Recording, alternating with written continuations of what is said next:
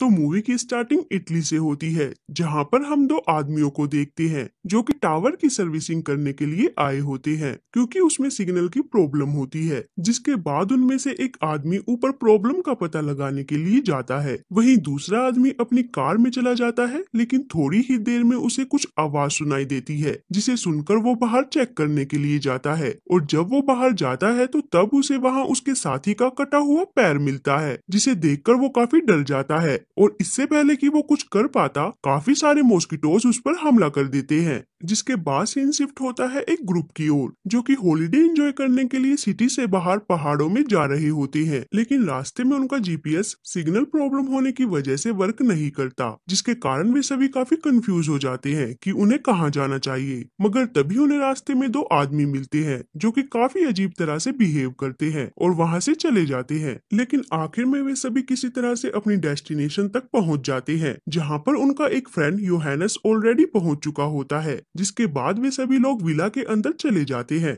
जो कि उनके एक दोस्त डेविड का होता है। वहीं दूसरी तरफ़ हम लायनल नाम के एक आदमी को देखते हैं, जो कि हनी कलेक्ट करने के लिए जाता है, मगर जब वो वहाँ जाता है तो तब उसे वहाँ सभी मधुमक्खियाँ मरी हुई पाती है, जिसे देखकर वो थोड़ा घबरा जाता है कि तभी उसे वहाँ पर एक ऑटो दिखाई देता है, जो कि दरअसल उसके पड़ोसी का होता है, जिसके बाद वो अपने पड़ोसी के पास जाता है और उसे उस एक्सपेरिमेंट को बंद करने के लिए कहता है। साथ ही साथ वे दोनों उन मॉस्किटोज के बारे में भी बात करते हैं और इन सब के बाद लायनल वहाँ से चला जाता है। उसी रात हम डेविड को देखते हैं जो कि अपने सभी फ्रेंड्स के साथ बात कर रहा होता है। लेकिन इतने में ही रिकी, जो कि टीवी देख रहा होता है, वो सभी को एक न्यूज़ देखने के लिए बुलाता है, जिसमें कि एक किलर अरमांडो के बारे में बताया जा रहा होता है, जो कि जेल से भाग चुका है। और साथ ही में उसने दो लोगों को बड़ी बेरहमी से मारा होता है, जिसे सुनने के बाद वे सभी काफ़ी डर जाते हैं कि अगर वो भागकर उनके विला में आ गया तो और वे सब इस बारे में बात कर ही रहे होते हैं कि तभी इतने में ही वहाँ पर सभी लाइट्स ऑफ़ हो जाती है, जिसकी वजह से रिकी, डेविड और क्रिस्टिन को छोड़कर सभी लोग नीचे बेसमेंट में मेन स्विच को ढूँढने के लिए चले जाते हैं, और कुछ देर तक ढूँढने के बाद उन्हें वहाँ स्विच मिल ही जाता है। वहीं दूसरी तरफ़ हम उस किलर अरमांडो को देखते हैं, जो कि एक कार में मौजूद होता है, और कुछ दूर तक जाने के बाद उसे रास्ते में रबैका नाम की एक लड़की दिखाई देती है, जिसकी कार दरअसल खराब हो गई होती है और वहाँ पर सिग्नल भी अवेलेबल नहीं होते, जिसकी वजह से वो अरमांडो से लिफ्ट ले लेती है। वहीं आगे हम वापस डेविड को देखते हैं, जो कि अपने सभी फ्रेंड्स के साथ डिनर कर रहा होता है। इसी बीच मोरो नोटिस करती है कि बाहर कोई है, हालाँकि कोई उसकी बात पर बिलीव नहीं करता, क्योंकि वो हमेशा प्रैंक करती रहती थी। और आखिर में जब वे चेक करते हैं तो उन्हें वहाँ पर लाइनल दिखाई देता है, जिसे देखकर वे सभी काफ़ी घबरा जाते हैं। मगर तभी डेविड उन्हें बताता है कि वो उनके विला का केयर टेकर है। फिर लाइनन उन सबको वहाँ से जाने के लिए बोलता है। क्योंकि वहाँ पर काफ़ी सारे मॉस्किटोज आने वाले होते हैं और वे सिर्फ़ पानी और स्मोक को छोड़कर किसी भी चीज़ से नहीं डरते थे। और अगर बाय चांस वे विला के अंदर आ गए तो उनमें से कोई भी ज़िंदा नहीं बच पाएगा। लेकिन लायनल की बातों का यकीन वहाँ पर कोई नहीं करता और सभी सोचते हैं कि उसने ड्रग लिया है, जिसके बाद लायनल वहाँ से चला जाता है। वहीं आगे डिनर करने के बाद उनमें से मोरो नाम की एक लड़की नहाने के लिए चली जाती है, जहाँ पर एक मॉस्किटो चुपके से वहाँ आ जाता है। और इससे पहले की वो उसे काट पाता,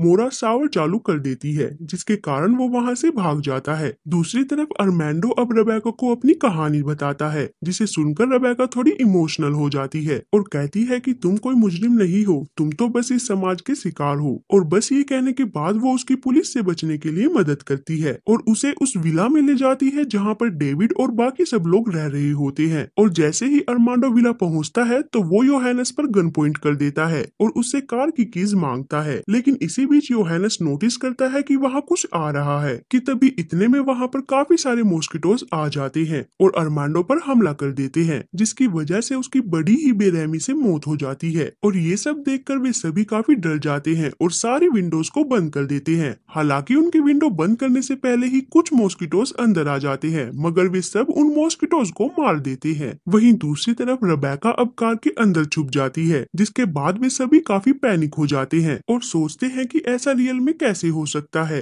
कि तभी इसी बीच उन्हें दूर तीन आदमी दिखाई देते हैं, जो कि ड्रग ले रहे होते हैं और नशे में होने की वजह से वे उन्हें इग्नोर करके वहाँ से चले जाते हैं। फिर उन्हें एक आइडिया आता है कि वे लाइनल को उनकी हेल्प के लिए बुलाएँगे और वे सब एक एरो की हेल्प से उसे मैसेज सेंड करने की कोशिश करते हैं। हालाँकि स्टार्टिंग के दो शॉट्स मिस हो जाते हैं, लेकिन शॉट मिस होने के बावजूद भी लाइनल उनका मैसेज देख लेता है। मगर ये बात उन्हें नहीं पता होती, जिसकी वजह से वे एक बार और कोशिश करते हैं और जब वे ये कर रहे होते हैं तो तभी मॉस्किटोज अंदर आ जाते हैं और डेविड के हाथ पर काट लेते हैं। मगर वे सब डरने की बजाय उनका डट कर सामना करते हैं और उन्हें आखिर में मार देते हैं। मगर उन्हें मारने के दरमियान उनसे वो एरो गलती से उनके एक फ्रेंड के पेट में लग जाता है, जिसके कारण उसे ब्लीडिंग होने लगती है। दूसरी तरफ़ हम कुछ पुलिस ऑफिसर्स को देखते हैं, जो कि अरमैंडो को ढूंढते हुए उसी टावर के पास पहुँचती है, जो कि हमने मूवी के स्टार्टिंग में देखा था, जहाँ पर उन्हें एक डेड बॉडी मिलती है, जो कि दरअसल पूरी डिस्फिगर्ड हो चुकी होती है, जिसे देखकर पुलिस ऑफिसर्स को लगता है कि ये सब अरमैंडो ने किया है, लेकिन असलियत में ऐसा कुछ नहीं होता। वही लाइनल अब विला पहुँच चुका होता है, जिसके बाद डेविड उससे पूछता है कि ये सब क्या हो रहा है, और वो इससे कैसे बच सकते हैं, जिसके बाद लाइनल उन्हें बताता है कि उन मॉस्किटोज को ड्रग्स के स्मोक से प्रॉब्लम है, और जब तक वे स्मोक करते हैं, तब तक वे उन्हें कुछ भी नहीं करेंगे, लेकिन स्मोक के एंड होते ही वे उन पर अटैक कर देंगे। फिर लाइनल सभी से पूछता है कि उनके पास क्या क्या काम की चीज़ें हैं। हालाँकि ज़्यादातर लोगों के पास काम की कोई भी चीज़ नहीं होती, लेकिन एक के पास एक बैग ड्रग्स होता है, मगर लाइनल उन्हें बताता है कि ये उन सबको बचाने के लिए काफ़ी नहीं है। वही आगे रिकी लाइनल के साथ स्मोक करते हुए उसके घर बचा हुआ ड्रग्स लेने के लिए चला जाता है, जिसके दरमियान वे रास्ते में अरमैंडो की कार भी चेक करते हैं, लेकिन उन्हें उसमें कुछ नहीं मिलता। और जब वे दोनों घर पहुँचते हैं तो उन्हें वहाँ पर काफ़ी सारे मॉस्किटोज दिखाई देते हैं, जिसके साथ साथ उन्हें वहाँ रबैका भी मिलती है, जो कि अभी भी ज़िंदा होती है। फिर वे दोनों उसे विला में ले जाते हैं, जहाँ पर मोरो रिकी से पूछती है कि मॉस्किटोज ने इसे क्यों नहीं खाया? तो रिकी उसे बताता है कि शायद उन्हें अपने एक्स रखने के लिए एक बॉडी की ज़रूरत है इसलिए, या फिर वे इसे बाद में खाने वाले थे, कि तभी इसी बीच में नोटिस करते हैं कि वे मॉस्किटोज अब वहाँ से जा रहे हैं, और वे कहीं और नहीं बल्कि लाइनल के नेबर के यहाँ जा रहे होते हैं, जहाँ पर लाइनल का नेबर उन पर एक गैस स्प्रे करता है। जिससे कि काफ़ी मॉस्किटोज मारे जाते हैं। मगर इसके बावजूद भी बाकी बचे हुए मॉस्किटोज उसे बड़ी बेरहमी से मार देते हैं। वही आगे हम वापस रिकी को देखते हैं, जो कि रिसर्च पर्पस के लिए एक मॉस्किटो को बोतल में रख लेता है, जिसके दौरान हम एक मॉस्किटो को देखते हैं, जो कि इवोल्व होकर साइज़ में और भी बड़ा हो जाता है। दूसरी तरफ़ सभी लोग अब ये डिसाइड करते हैं कि उनमें से कुछ लोग बाहर जाकर हेल्प के लिए पुलिस को लाएँगे। मगर रबैका उन्हें बताती है कि वे मॉस्किटोज कार के अंदर भी आ जाते हैं। जिसके बाद मोरो उन्हें बताती है कि अगर वे स्मोक करते हुए कार से जाएँगे तो कोई प्रॉब्लम नहीं होगी, जिससे कि सभी एग्री करते हैं और मोरो डेविड के कज़न के साथ पुलिस को बुलाने के लिए चली जाती है। मगर जाने से पहले डेविड का कज़न उसे मना कर देता है, क्योंकि उसने अपनी लाइफ में पहले कभी स्मोक नहीं किया होता, लेकिन इसके बावजूद मोरो उसे मना लेती है और वहाँ से चली जाती है। वही अब थोड़ी ही दूर जाने पर उन्हें रास्ते में पुलिस मिलती है, जो कि उनकी कार देखकर सोचती है कि उसमें अरमैंडो है, लेकिन जैसे ही वे दोनों कार से बाहर निकलते हैं तो तभी वे मॉस्किटोज उन पुलिस ऑफिसर्स पर अटैक कर देते हैं और उन्हें मार डालते हैं। मगर इससे पहले कि वे मॉस्किटोज मोरो और उसके फ्रेंड पर हमला करते,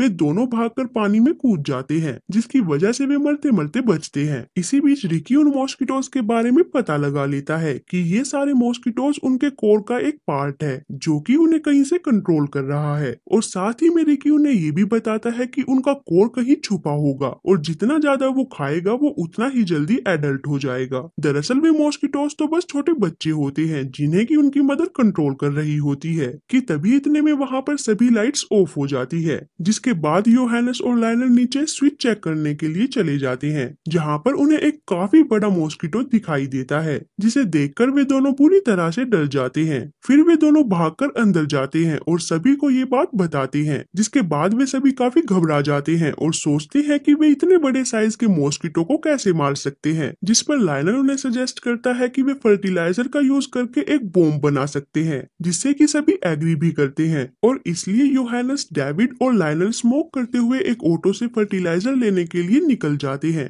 मगर जल्द ही उन पर काफ़ी सारे मॉस्किटोज हमला कर देते हैं, जिसके कारण उनका ऑटो आउट ऑफ़ कंट्रोल हो जाता है और ट्रैक से साइड हो जाता है। लेकिन जब वे सभी उस ऑटो से बाहर निकलते हैं तो उन्हें वहाँ पर एक भी मॉस्किटो नहीं मिलता, जिसके बाद सीन शिफ्ट होता है और हम रिकी को देखते हैं, जिसे कि अब पता चल चुका होता है कि रबैका के अंदर मॉस्किटोज ने अपने अंडे दिए हैं, जिससे कि वो उससे काफ़ी डर जाता है। और इससे पहले कि रबैका के मुँह से निकले हुए मॉस्किटो रिकी पर हमला कर पाते, क्रिस्टीन वहाँ आकर उसे जला देती है और रिकी को बचा लेती है। इसी बीच हमें वे तीन आदमी दिखाए जाते हैं जिन्हें की हमने मूवी के स्टार्टिंग में देखा था। और अब वे तीनों अपने कैंप में जाते हैं। और जैसे ही वे अपने कैंप में जाते हैं कि तभी उन पर काफ़ी सारे मॉस्किटोज हमला कर देते हैं और उन्हें जान से मार डालते हैं। वहीं दूसरी तरफ़ अब तक सभी ने मिलकर फर्टिलाइज़र बॉम्ब बना लिया होता है। मगर रिकी को उसके स्विच में थोड़ा डाउट होता है कि तभी इतने में योहानस उन्हें बताता है कि उनके पास अब सिर्फ़ एक ही स्मोक बचा है, जिसके बाद वे सब बॉम्ब को मॉस्किटोज के कोर में रखने के लिए चले जाते हैं। और जैसे ही वे बेसमेंट में जाते हैं तो वे देखते हैं कि अब वो मॉस्किटो कोर और भी ज़्यादा बड़ा हो चुका है और आखिर में रिकी हिम्मत जुटाकर बॉम्ब को वहाँ रख देता है, जिसके बाद वे सब विला से निकलकर भागने लगते हैं। वही मोरो और उसका दोस्त भी अब विला के पास आ चुके होते हैं और उन पर भी मॉस्किटोज ने अटैक कर दिया होता है। लेकिन इससे पहले की वे उन पर हमला कर पाते, वो बॉम्ब ब्लास्ट हो जाता है, जिससे कि वहाँ पर काफ़ी बड़ा धमाका होता है। और उस धमाके की वजह से वहाँ मौजूद सभी मॉस्किटोज मारे जाते हैं और वे सब भी बेहोश हो जाते हैं, जिसके बाद वहाँ पर एक साइंटिस्ट की टीम एक सीक्रेट एजेंट के साथ उन्हें लेने आती है। और जब उन सबको होश आता है तो वो खुद को एक हॉस्पिटल में पाते हैं, जहाँ पर थोड़ी ही देर में दो सीक्रेट एजेंट आते हैं, जो की उन्हें स्टार्टिंग में मिले थे। और वे वहाँ आकर हॉस्पिटल के स्टाफ को वहाँ से निकाल देते हैं और सभी को बताते हैं कि वे सब काफ़ी लकी थे। कि इससे बच गए। साथ ही में वे एजेंट उन लोगों को उन मॉस्किटोज के बारे में किसी को भी बताने से मना करते हैं। और अगर उन्होंने ये बात किसी को बताई तो वे उनके खिलाफ एक्शन लेंगे और ड्रग्स लेने के जुर्म में उन्हें अरेस्ट कर लेंगे। और बस ये कहने के बाद वे दोनों वहाँ से चले जाते हैं। और जब वे दोनों अपनी कार लेकर वहाँ से जा रहे होते हैं तो तब रास्ते में उनकी कार में एक मॉस्किटो अचानक से आ जाता है और उन दोनों पर हमला कर देता है। और इसी के साथ हमारी मूवी यहाँ खत्म हो जाती है।